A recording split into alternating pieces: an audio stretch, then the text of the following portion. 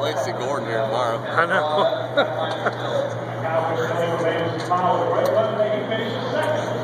I'm a charge. What charge up there?